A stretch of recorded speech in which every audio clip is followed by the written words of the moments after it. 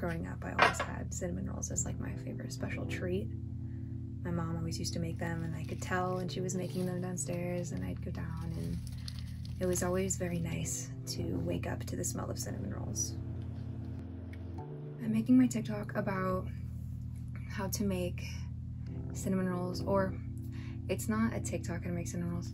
I'm making an aesthetic food making video. But I definitely should have guessed that doing this on a Wednesday wouldn't be good because production day always sucks. Sister.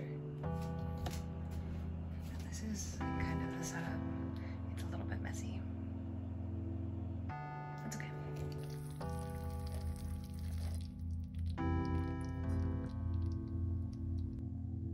I've basically just killed the yeast. So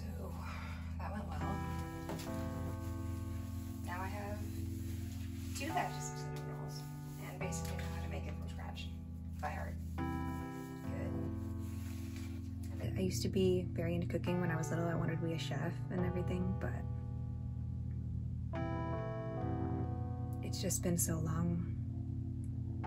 And I've had a lot of previous food issues, so I want to have a healthy relationship with food again. It's just been fun to be able to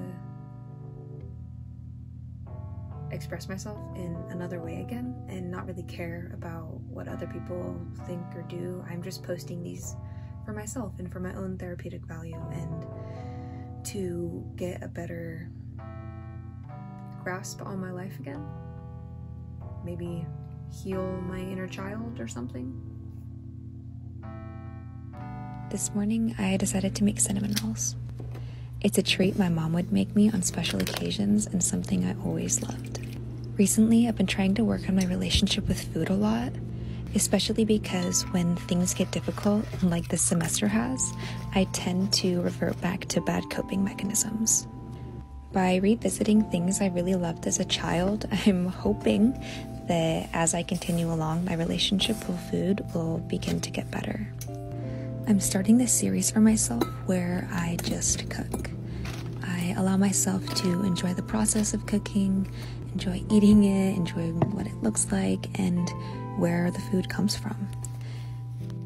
Taking the time to make something I loved from my childhood is just one step of the process in starting to heal. I hope I fall in love with cooking again, and I hope you enjoy seeing what I cook.